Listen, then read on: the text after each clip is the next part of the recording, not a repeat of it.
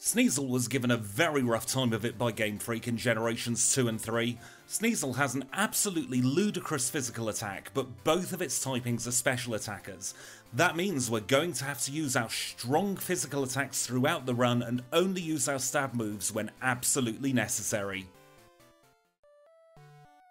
And as always, before we get into this run, we have the normal YouTube shenanigans to get into. If you enjoy this run, please do think about leaving it a like. If you want to see more runs just like this, then please do click the subscribe button.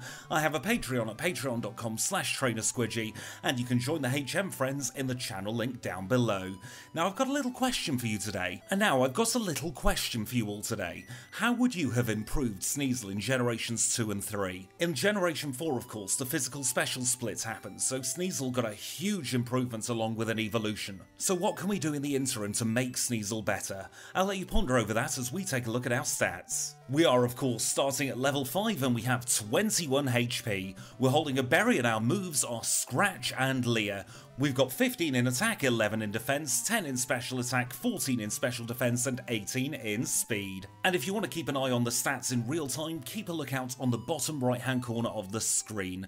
Those stats will update in real time, but for now I'm going to show you the very first encounter we had. It was a level 2 female Rattata and two scratches knocked it out. Now just before we get into Mr Pokemon's house we're going to do a little bit of grinding and take advantage of our medium slow experience group. The medium slow experience group is a bit of an oxymoron. At the beginning of the game, where experience arguably matters the most, the medium fast experience group is the second fastest to level up. It's only behind the fast experience group, and we'll actually be seeing some Pokemon from the fast experience group in the not too distant future. In March I recorded Granbull and Aipoms runs, and I am just waiting for the perfect time to release them, so do keep an eye out. In the meantime, we'll take on the first rival battle, and this time I gave him a Cyndaquil. It was an obvious choice really, we are weak to fire type moves, so that was the clear cut choice. Now let's take a little trip back to the Pokemon laboratory where the police officer is wondering what that rival's name is. Now the rival identified himself as triple question mark and we are no snitch here on this channel so we're going to play along with him and call him what he wanted to be named. In the meantime though we're going to make our way up towards Violet City where our first gym leader is waiting for us. This is the first of 16 gyms we're going to be taking on and seeing throughout the run. This is Falkner, he is a flying type leader who leads with Pidgey. It would be great if we had an ice type move at this point but we learn no ice type moves by level up, so instead we're just going to have to quick attack. A pair of quick attacks on both Pokemon knock them out, and we get Falkner's badge in a time of 5 minutes and 55 seconds. So it's all the fives for that badge, but we have to very quickly move on towards Route 32 and the Union Cave.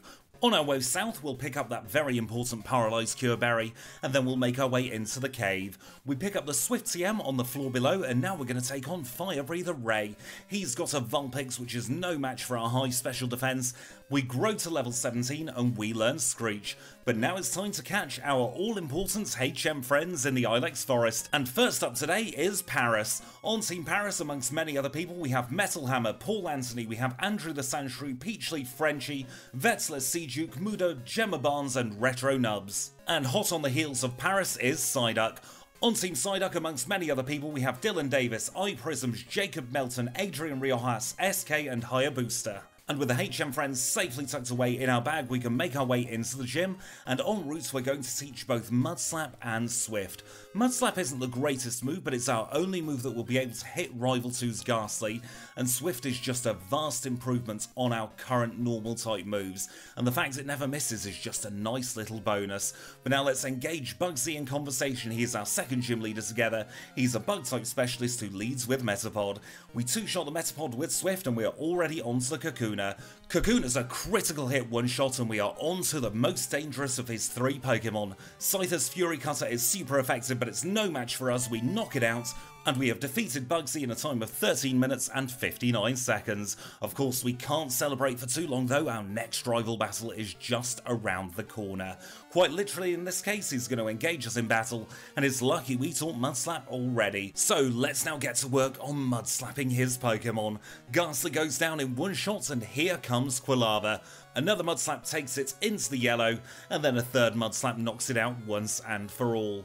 In hindsight, a move like Swift would probably have been better against the Quilava. However, as you may have noticed, I don't have dynamically updating power and accuracy on my overlay. This has been a conscious choice for me ever since I started doing these challenge runs. I have my own specific playstyle where I don't over optimize and I don't over prepare. I like seeing how good a Pokemon is on gut instinct alone, and of course we then have the redo streams to optimise later on to see just how quicker it could have been. But enough waffling, we are now on to our third HM friend, this one is Abra, and on Team Abra we have William Osborne, Dom Verrill, Pariah Dark, Sombrero Pharaoh, and we also have Nate Boyd, Kanbei, Baby T and Connor Walton. And now let's pick up the bikes so that we can move at even faster speed around the Johto and Kanto regions, and we'll teach Headbutt over Quick Attack. As lovely as it would be to have a priority move, having a 70 base power move along with a 30% chance of flinching is something not to be sniffed at. We'll now pick up TM28 from the National Park, we'll have a little chat with Floria, and we'll pick up Kenya.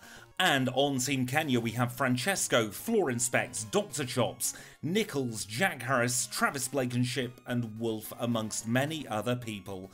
But now it's time for our third of 16 gyms. This is Whitney, the normal type specialist who leads with Clefairy. She sends that Clefairy out and we headbutt it and it flinches. Two shots on the Clefairy and here comes the Miltank. The Miltank has a super effective rollout but we manage to flinch it. That means that rollout doesn't build and we defeat her on our first attempt. We get the plane badge in a time of 20 minutes and 5 seconds and that means our first run through of Goldenrod City is complete. We'll get the Squirts bottle off Floria's sister, and we'll make our way north towards Ecruteak City. En route, we shall annoy a tree and we'll also pick up the Rock Smash TM just in case we need it a little bit later on, and then we'll make our way into Ecruteak City proper. The first destination is going to be the Kimono Girls Dance Theatre. This is where we're going to grab the Surf HM, but first, we've got to beat up 5 evolutions, and even with the one that was super effective against us, we had no issues at all. Our reward, of course, is the Surf HM, which we'll teach after getting strength as well, but for now we're going to take a trip east towards the Lake of Rage. We're going to pick up the Rare Candy, and we're also going to get Hidden Power. Now, our Hidden Power type this time was a very easy choice. We are 4 times weak to fighting, so we are going to go for Hidden Power Flying. The only other type that fighting is weak to, of course, is Psychic, and we have absolutely no special attacks, so it makes no sense. We're now going to go west and towards Olivine City, where we'll grab Strength and teach that along with Surf to Psyduck, before ascending the Lighthouse. At the tippy top of the lighthouse, Jasmine is conveniently waiting for us. She claims to have a sick Ampharos and needs some medication from over the water, but I'm still very suspicious of her. We'll have to wait and see though, because before we cross the open seas, we've got to make our way back towards our third rival battle. This one's in the Burnt Tower, and he will lead with an evolved Haunter. This is why we got all those levels up to try and make Mudslap do as much as possible.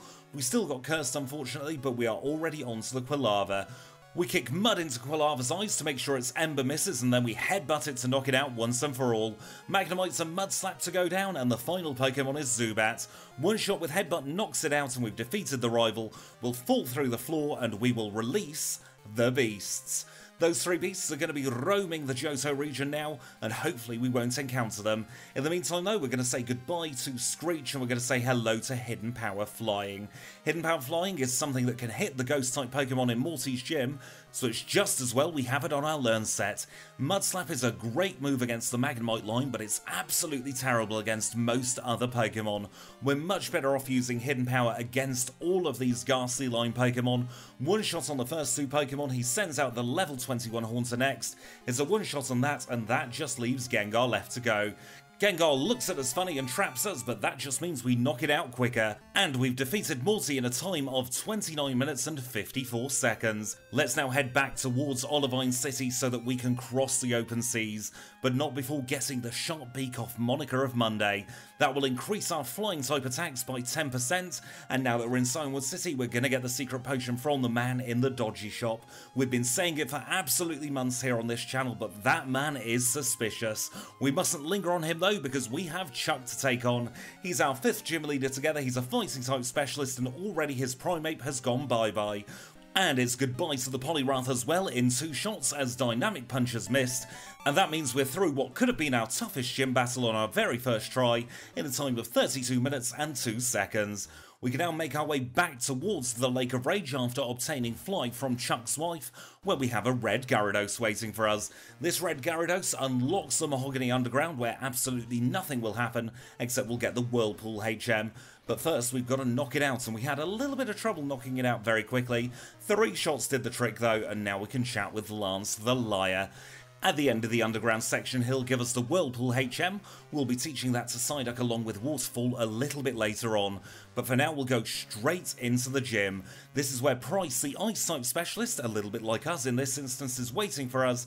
He's gym number 6 and he leads with Seel. If we had more PP here, our plan would have been to headbutt everything. But in theory, it should be much quicker to just use Swift. With there only being 10 base power difference between Headbutt and Swift, it just makes more sense to use up the PP you have and skip a heal in the Pokemon Center. And in this instance, it works out perfectly for us. We knock out the Piloswine on our first attempt, still in the yellow HP, and we obtain the Glacier badge in a time of 37 minutes and 42 seconds. And now with 6 badges acquired, we'll do a little bit of cleaning up around the Johto region, picking up items that we might need in the future. We'll go into the Slowpoke well first of all and pick up the King's Rock. That will allow us to flinch with an awful lot of our physical attacking moves. It's another trip back to Goldenrod City where we're going to go into the Pokemart. We'll pick up TM27 which contains Return, and we'll also pick up a couple of TMs. We'll get two Ice Punches and we'll also get two spare Headbutts. The reason for that is we are going to be saying goodbye to Headbutts right about now. We're going to teach Dynamic Punch over Headbutt, and this is what we're going to be trying to use against Jasmine's Steelix.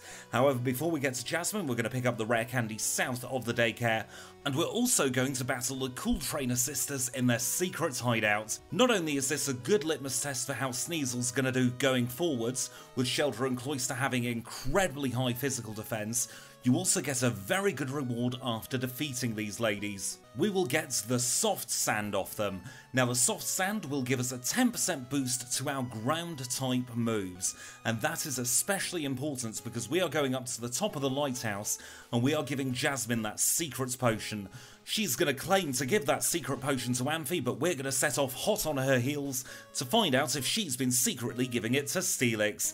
Now the reason the soft sand is so important before this gym is because she is a steel type leader who will lead with Magnemite. Even though Magnemite has a quad weakness to Mud Slap, it's still such a terrible move that they can sometimes survive. But we're onto the Steelix now though, and it hits us with Iron Tail. Our Dynamic Punch misses on turn 2, and we get a reset.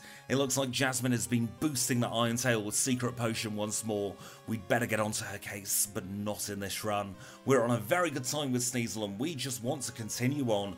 Dynamic Punch does what it's supposed to do on this attempt, the Magnemite gets knocked out with a Mud Slap and we are through Jasmine in a time of 41 minutes and 30 seconds. That's not a bad pace at all for Sneasel, but let's keep this momentum going. We're going to go back to Goldenrod City and we're going to say goodbye to Dynamic Punch. It was very much a brief foray with Dynamic Punch, and Headbutt is going to be replacing it once more. Headbutt really is our best normal type move at the moment, because even though Headbutt and Return are roughly equal power by this point in the run, Headbutt has that chance to flinch, and that really is invaluable. Having a 30% chance to just incapacitate your opponent is absolutely fantastic. Of course, we've still got Mudslap on our learn set to take care of that pesky Magnemite line, because we really have nothing better at the moment, and then we're through his Sneasel.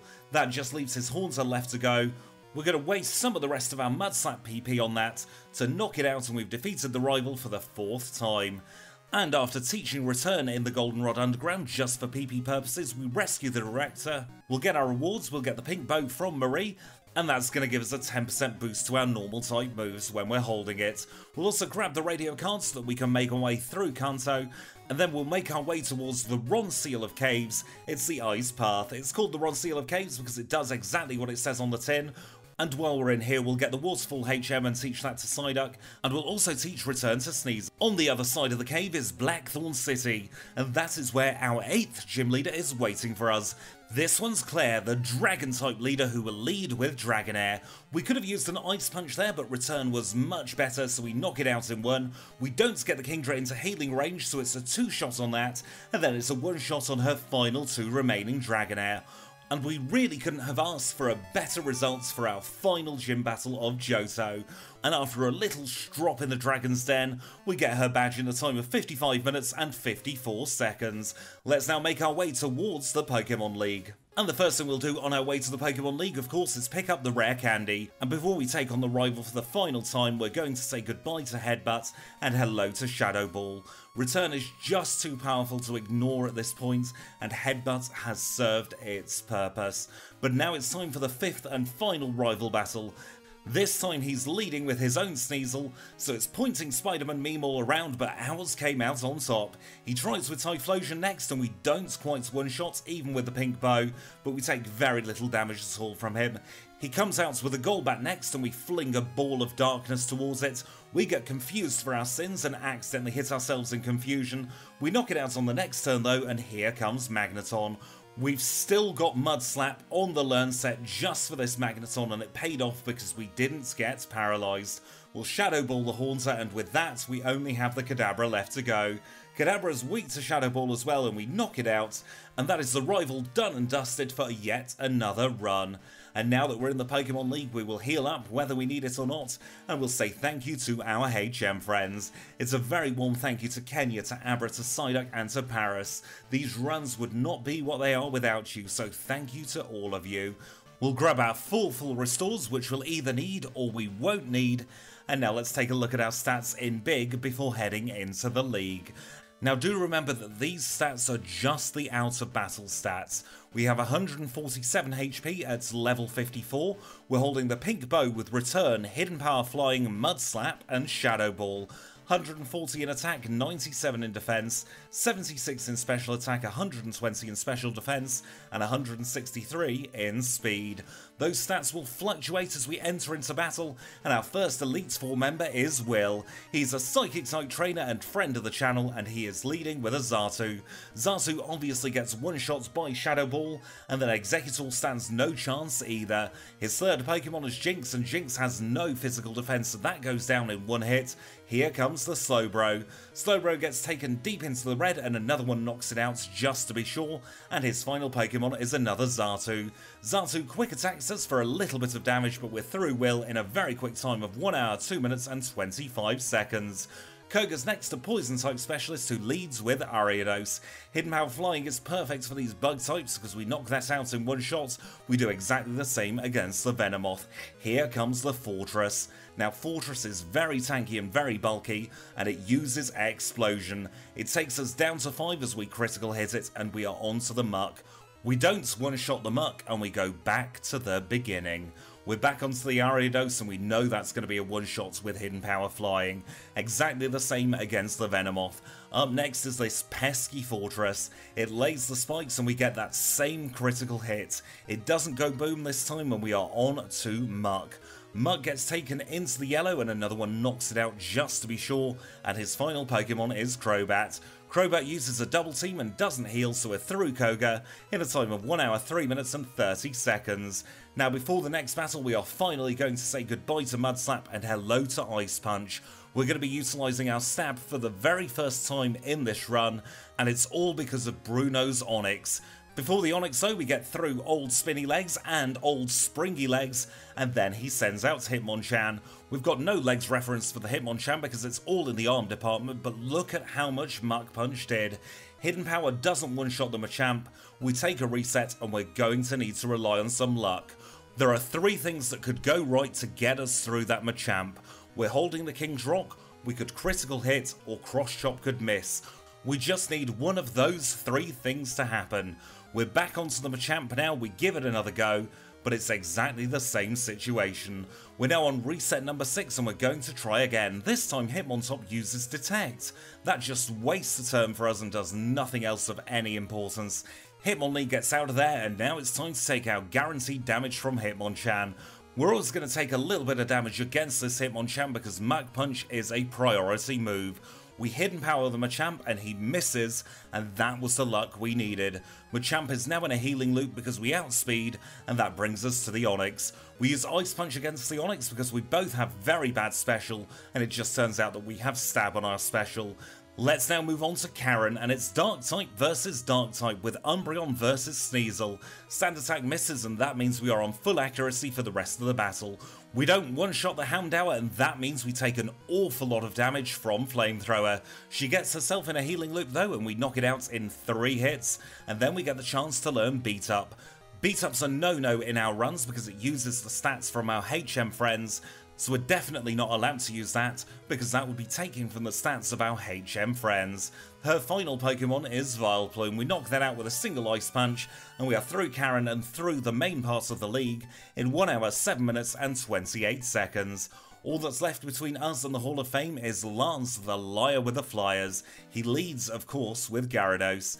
Gyarados rarely attacks on turn 1 and this is no different, so that means that Gyarados is a free KO. The rain is also set up, which means that Charizard's flamethrower does next to nothing and we are still in the green for the Aerodactyl. We have Ice Punch for the Aerodactyl and even with Stab we don't knock it out. That means we are on 16 HP growing to 20 for the rest of the battle.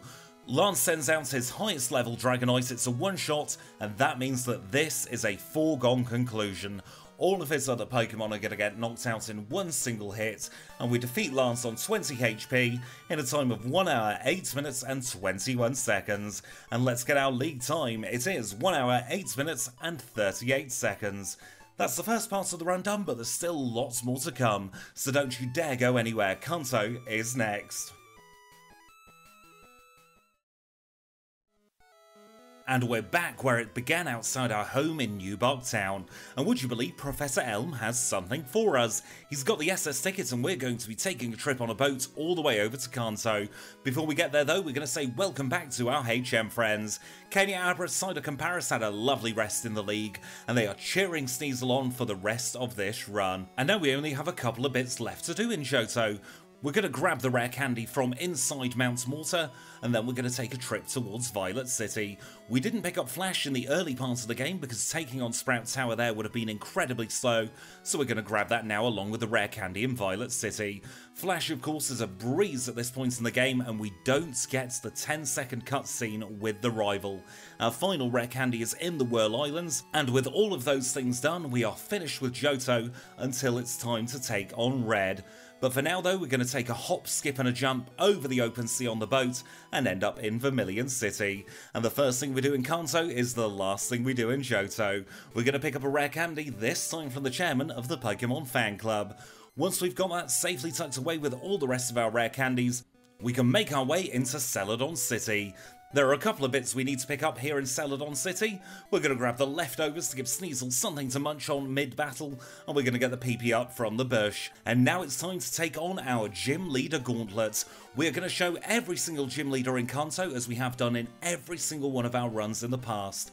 Now recently there has been some criticism levelled at people who show every single gym battle in Kanto. There are a couple of reasons why I show every single battle in Kanto and why that's never going to change. Firstly, I know a lot of you enjoy playing these runs along with me, so I like to show what went right, what went wrong, what I could have done better, and what huge strokes of luck we had to get through each and every gym leader. And also, we need all 16 gym badges in order to battle Red.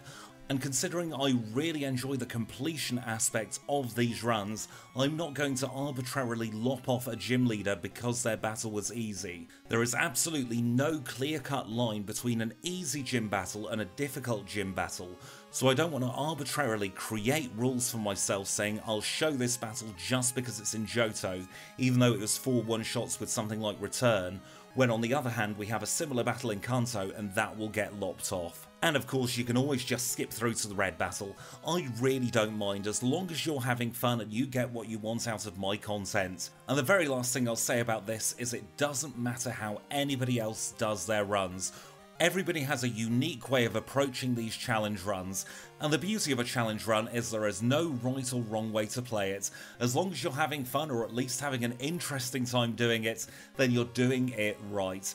And I will always be supportive of anybody who wants to get into challenge running. It's brought me an awful lot of pleasure over the last 12 months or so, and I really want to spread that love and spread that happiness with as many people who want to try it as possible. But now let's shift our focus back towards the gym battles. We defeated Erica in a time of 114.49, Misty in 120.02, and Sabrina in 120.39, and we have just taken a reset against Lieutenant Surge that pesky Magneton Zap Cannon does, and we stood no chance of getting through the rest of the battle. Unfortunately, we have nothing great against the Steel type, but thank goodness this is our final Steel type of the run. We got through unscathed this time, and then the rest of the battle is trivial. We one-shot the Electrode, we one-shot the Electabuzz, and we get Surge's badge in a time of 122.36. Let's now move on to Brock. Brock, of course, is a rock type leader, so he has a type advantage over us, but we have Ice Punch for three of his Pokemon, and we have Blind Faith for the other two. We get through the Graveler with no problem, and it's three shots on the Omastar. He sends out Onix next, and that's a very nice Ice Punch, and then he'll send out Kabutops. Kabutops, of course, being the other Rock Water Pokemon on his team. This time it's a two-shot because Kabutops is much less bulky. He rounds things off with a Rhyhorn, we knock that out with Ice Punch, and we've completed the first part of our Gym Leader Gauntlet in a time of 1 hour 23 minutes and 51 seconds. Let's now take a trip down through Viridian Hedge saying hello to Threedrill en route, and we'll make our way to Cinnabar Island. At Cinnabar Island, we chat with Blue, and that activates his gym battle for us to go back to when we're back in Viridian City. We've got a rare candy here on Cinnabar Island as well, and our next destination, of course, is going to be the Seafoam Islands where Blaine has relocated. It's another gym where we technically have the type disadvantage, so let's see how it goes. He leads with Magcargo, and Magcargo hits us with a relatively weak flamethrower. We use a Shadow Ball to knock it out in two hits, and we're on to the Bumhead Fire Duck. The Bumhead Fire Duck gets knocked out in one shot, and our great speed works to our advantage. Because we outspeed the Rapidash, we knock it out in one shot, and we get Blaine's badge in a time of 125.22. And now we're on to our penultimate gym leader, and this is Janine. Janine is an absolute pushover, and she is arguably the least important of all the gym battles we do. We save her till last because it provides a huge contrast between her and the first really difficult gym battle we have had since Jasmine. We knock out all of her Pokemon in a single hit, and we get her badge in a time of 1 hour 26 minutes and 6 seconds. Let's now move on to Blue. He is arguably the hardest of the gym leaders and he leads with Pidgeot. Now we could have used Ice Punch against this Pidgeot, however Return is doing a lot more damage. Just look at the sheer difference between our physical and special attacks here. We get hit by a nasty pair of flamethrowers from the Arcanine though, and we're gonna have to take a reset. We use Return twice against the Pidgeot again and we're back onto the Arcanine. Return takes Arcanine into the yellow as it flinches with the King's Rock, and we're on to the Rhydon. Rhydon has very little special as I learnt in a recent recording session, so keep your eye out for that, and it got knocked out with a single Ice Punch. We don't have anything too great against the Gyarados, but a pair of returns easily takes care of it, and we're on to Exeggutor. We get Exeggutor into a healing loop, however it does manage to leech seed us. It makes no difference to the outcome of the battle though because we knock it out in a second Shadow Ball, and his final Pokemon is Alakazam. Alakazam gets knocked out with a single Shadow Ball to get the Earth Badge in a time of 1 hour 28 minutes and 33 seconds. And that's it, we've got all 16 gym badges. Our journey is nearly at a close. We are under 90 minutes for getting all the gym badges so far, and there was a time in the not too distant past where this would have made Sneasel a contender for top spot. Our runs have just been getting quicker and quicker, so where do you think Sneasel is going to end up? Let me know down in the comments below as I tell you that this is Red. He is our final challenge of the run and he leads with Pikachu.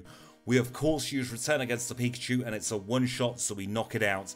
Pikachu is irrelevant for the rest of the run, however this Charizard is not. A single flamethrower knocks us out so we're going to have to use Rare Candy straight away. We have absolutely no chance of knocking out the Snorlax in one or two hits, so we're going to have to go even higher with our levels. We're now at level 69 and it turns out that Return was a damage range this entire time. We knock it out in two shots though and we're back onto Charizard. We get an excellent bit of luck here as we critical hit the Charizard and flinch it to make sure we take it out with no damage whatsoever and we're onto the Snorlax. Snorlax flinches and we take it down into the yellow. We take it deep into the red, but Body Slam critical hits us and knocks us out. The game giveth and the game taketh away. Our best plan here is to flinch, so we're going to get rid of hidden power flying and we're going to go for headbutt. Our best chance of getting through this battle quickly is with stasis conditions. More specifically, we want to freeze and we want to flinch. We've got the freeze chance with Ice Punch and the flinch chance is coming from Headbutt. The King's Rock just is not cutting the mustard. We're going to grow to level 76 and try again. Of course, the Pikachu is now definitely a one-shot and we get the freeze off on the Charizard. The Charizard goes down without us taking any damage whatsoever, and we're back onto the Snorlax. We Ice Punch it, but we don't get the freeze, so we're going to swap to Headbutt to try and flinch it instead. He body slams us though, and he paralyses us. In my absolute desperation to make sure that Sneasel has a respectable time, we try the Curse strat. I want to see if just one speed drop is enough for us to outspeed the important Pokemon, and I got a very quick answer, no. So let's now try again, this time without using Curse on the first few Pokemon. We get rid of the Pikachu in one shot, we're going for the freeze on the Charizard. We get it this time and then we use Return. It's three returns to knock it out and we are onto the Snorlax. Snorlax is highly likely to use Amnesia on turn 1 and that gives us a chance to start swearing. We set up just a single curse. We still have a very high speed but now our attack is at 337 in battle. That gives us an opportunity to two-shot the Snorlax, and then we two-shot the Venusaur. That brings us onto the Blastoise, we use Return on turn 1 to take it into the yellow. He starts a Rain Dance so he doesn't attack us, and that means we knock it out on turn 2. His final Pokemon is Espeon. Super effective Shadow Ball takes it deep into the red, another one knocks it out, and we have our final time of 1 hour 38 minutes and 36 seconds. Considering our special attack is very, very lackluster, and we were relying just on physical moves throughout this entire run, I think that 138.36 is an incredibly respectable time for Sneasel, and that puts us in 14th place on the leaderboard. We're in some very nice company here, in between Donphan and Miltank. Of course, now all the way down in 44th place we have Magcargo, and while we're here, let's spare a thought for Noctowl. It only got one video on the front page before Qwilfish usurped it last time. But let's now take a look at the front page and see that there is absolutely no change to the podium. It's still Kangaskhan in first place, Charizard in second place, and Blastoise in third place.